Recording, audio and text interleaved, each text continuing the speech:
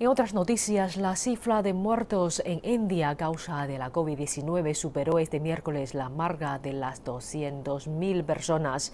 Se registraron 3.293 muertes en las últimas 24 horas, el mayor número diario en lo que va de año.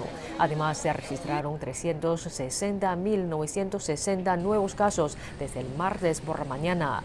Este es el pico más alto en un solo día en los casos de COVID-19 desde el comienzo de pandemia en el país. Todavía hay casi 3 millones de casos activos en el país y hasta el momento más de 14 millones de personas se han recuperado y han sido dadas de alta de hospitales en todo el país.